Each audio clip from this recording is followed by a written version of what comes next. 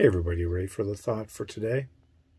So, excuse the, I guess the framing here. I've got to have my knee above my heart for uh, much of the day as possible.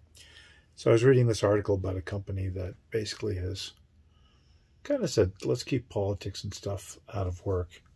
I'm not going to mention the company's name, but it, this statement, um, it was said in the chat room the company name is fully committed to the ideas of equality and opportunity and belonging.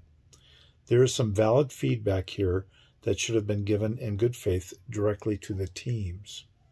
Unfortunately, and this is the part to listen to, unfortunately, most of it is lost in the fundamentalism that has emerged. Most of it is lost in the fundamentalism that has emerged. And, and often if you talk about fundamentalists, people think of religious people who are very inflexible.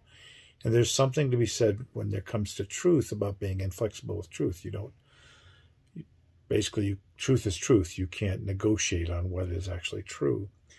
But fundamentalism is not just a uh, potential negative aspect of some people's religious experience. It happens so much in modern conversations modern views and how they're applied.